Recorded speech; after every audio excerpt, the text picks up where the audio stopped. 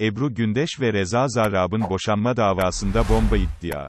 11 yıl önce evlendiği Reza Zarrab'a boşanma davası açan Ebru Gündeş, dilekçede eşinin başka kadınlarla ilişkisi olduğunu ileri sürdü. Gündeş'in bahsettiği kadınlardan birinin yakın arkadaşı hadise olduğu iddiası magazin gündemine bomba gibi düştü. Türk müziğinin güçlü seslerinden Ebru Gündeş, 11 yıldır evli olduğu Reza Zarrab'a, evlilik birliğinin temelinden sarsıldığı, gerekçesiyle Bodrum Aile Mahkemesi'nde boşanma davası açtı. Gündeş dilekçede eşinin başka kadınlarla ilişkisi olduğunu hatta o kadınlardan birini kendisinin de yakından tanıdığını belirtti.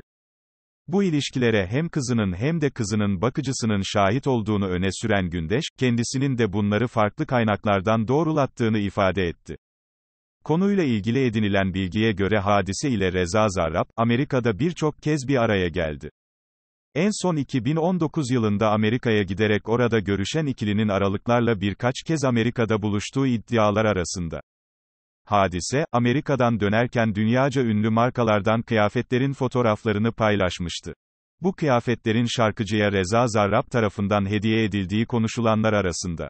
Hadisenin, Küçük Bir Yol, şarkısının klibinde giydiği, Zarrab'ın da hediye ettiği söylenen Valentino marka elbisenin 146 bin TL olduğu ortaya çıktı. Zarrab'ın hadiseye pırlanta hediyeler aldığı da kulislerde konuşulanlar arasında.